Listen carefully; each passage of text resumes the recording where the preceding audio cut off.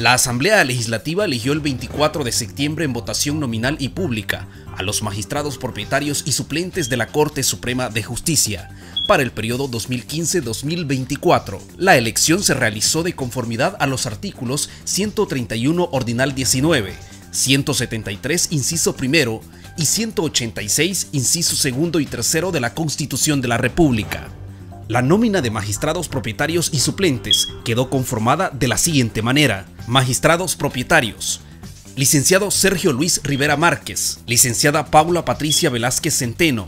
Doctora Dafne Yanira Sánchez de Muñoz. Licenciado Leonardo Ramírez Murcia. Licenciado Óscar Alberto López Jerez mientras que los magistrados suplentes electos son licenciada Sandra Luz Chicas Bautista, licenciado Ramón Narciso Granado Celaya, doctor Raúl Ernesto Melara Morán, licenciado Carlos Ernesto Sánchez Escobar, licenciado Martín Rogel Cepeda, nombrado para conformar la Sala de lo Constitucional, licenciado Óscar Mauricio Vega, licenciado Armando Antonio Serrano. La elección como magistrado suplente de la Sala de lo Constitucional del licenciado Martín Rogel Cepeda corresponde a la atribución de la Asamblea Legislativa de nombrar magistrados propietarios y suplentes de dicha sala. Con el propósito de realizar la presentación oficial de los magistrados electos, se realizó la primera sesión extraordinaria de Corte Plena el 25 de septiembre y se acordó la reorganización de las salas.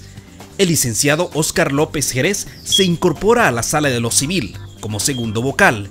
El licenciado Leonardo Ramírez Murcia será el segundo vocal en la sala de lo penal.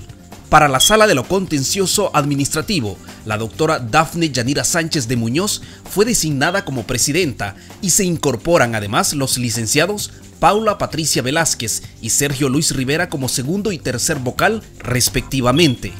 En esta reunión también se acordó que el magistrado licenciado José Roberto Argueta Manzano pasará a conformar la sala de lo penal como primer vocal.